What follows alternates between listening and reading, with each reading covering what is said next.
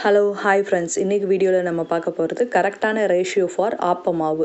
ஆப்பம் வந்து சில நிறையா பேருக்கு ரொம்ப பிடிக்கும். நல்லா நடுவில் வந்து நல்லா பொந்து பொந்து நம்ம இட்லி மாதிரி நல்லா சாஃப்டாக பஞ்சு பஞ்சுன்னு இருக்கும்.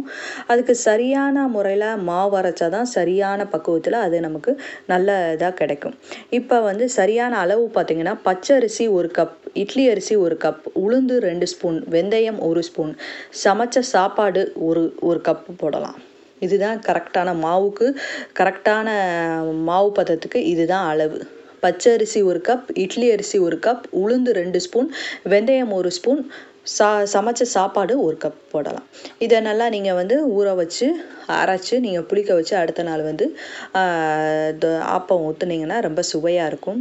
இந்த அளவில் நீங்கள் செஞ்சு பாருங்கள் உங்கள் கமெண்ட்ஸை கீழே சொல்லுங்கள் இந்த வீடியோவை லைக் பண்ணுங்கள் ஷேர் பண்ணுங்கள் சப்ஸ்கிரைப் பண்ணுங்கள் நன்றி வணக்கம்.